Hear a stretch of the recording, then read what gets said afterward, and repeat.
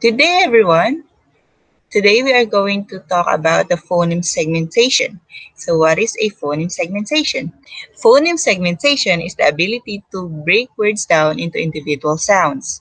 So this activity will help the students chunk sounds in a word. It could help them to develop their reading and spelling skills whenever they are writing or typing words. They could choose the letter that represents the sound. However, letting the students to overgeneralize the sounds and letters are good. It simply means they are getting the pattern of the sound and the letter. All right.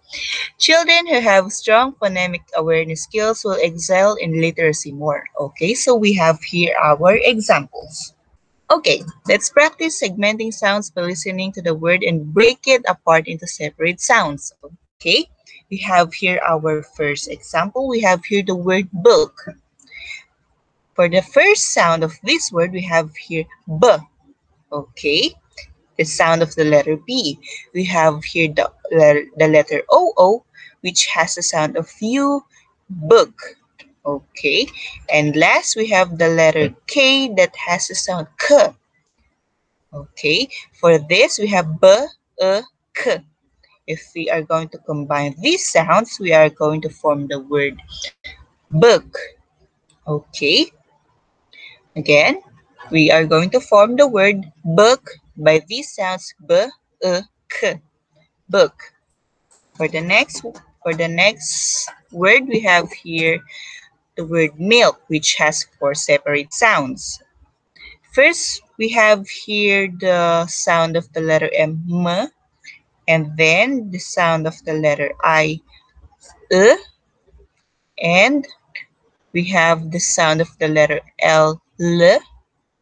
And lastly, we have the sound of the letter K, K. If these sounds are combined together, we are going to form the word milk. M, E, E, K, milk. Okay. Next, we have here the word birds.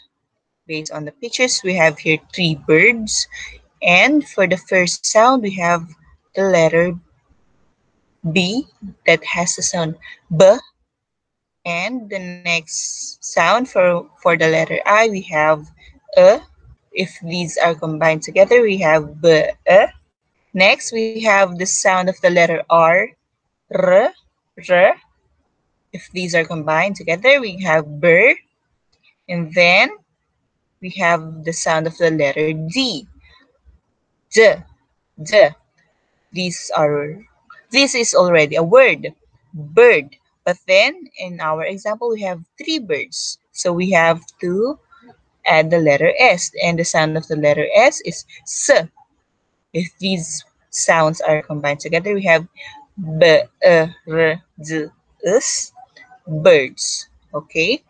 Again, what is phonemic segmentation. Phonemic segmentation is the ability to break words down into individual sounds.